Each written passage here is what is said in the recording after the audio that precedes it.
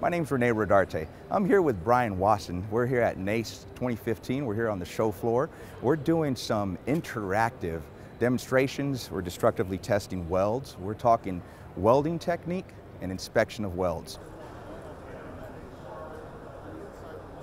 So I leaned on Brian right here. He's our subject matter expert. He's our performance training coordinator when, uh, when it comes to welding. He's also a technician. Less than a year ago, Brian was in install fixing BMWs, Audis. He's a certified technician with a lot of hands-on experience. So uh, Brian, could you tell us a little bit about what we're, what we're seeing here at the, at the show at the show these past couple of days and what we're doing? Thank you, Rene. Well, as a technician, it's a lot harder to see exactly what the weld is doing just by the face of it.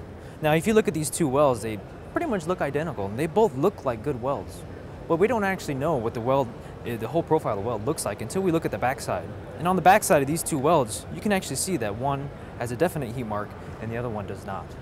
Well, we don't have this option of seeing the backside of the weld in a repair process a lot of time because this could be inside of a frame rail and we might not be able to see that. The interesting thing about these two welds is I kept the, the welder settings exactly the same for both these welds. All I did is change the way I welded it.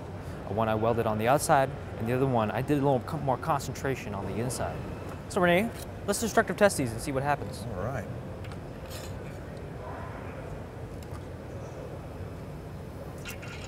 So this first one, all I did was weld on the outside of the perimeter of the hole, and we'll see how that turns out.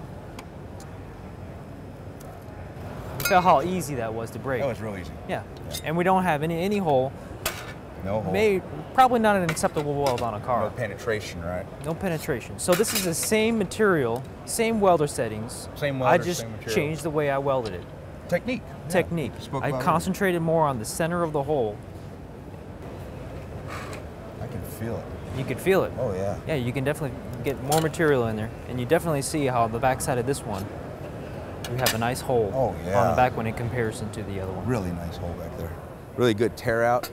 As a manager, I can't really go out there and destructively test these welds. How would I know our technicians are doing this? That's the just thing. I mean, uh, we don't know just walking through the shop as a manager whether your technicians are producing good welds or bad welds. That's where our welding training and certification come, comes into play.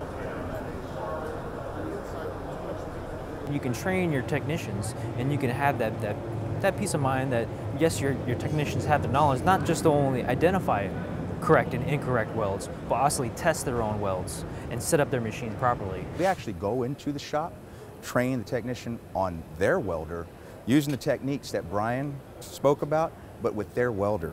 So I've heard it takes from anywhere from four hours, sometimes the whole day. Um, what, tell me a little bit about your experiences with that, because there's also not just this weld, there's several others, aren't there? Yes, we have nine other welds that, that we also do in our welding training and certification program. And within those nine welds, we have a fillet joint, a butt joint with backing, common welds that are within the industry. And our welding instructors, they go into a shop on a one, maybe on a one-on-one -on -one or a three-on-one, depending on how many technicians are being tested that day.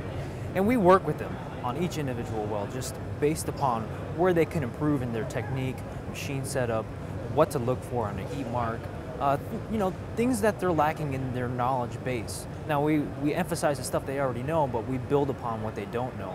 And so when, when we walk out of the shop, they have a better understanding of welding and then they, they will know how to destructive test their own welds and they'll see how important it is to destructive test their own welds. This weld, the reason why I chose this weld, because this is a common weld that when we go into our welding and training certifications in the shop, this is one where they have difficulty and it's all about technique on how you weld it, not really machine settings. Uh, we, we know that there's about 10% of the industry that has had some type of formal welding training.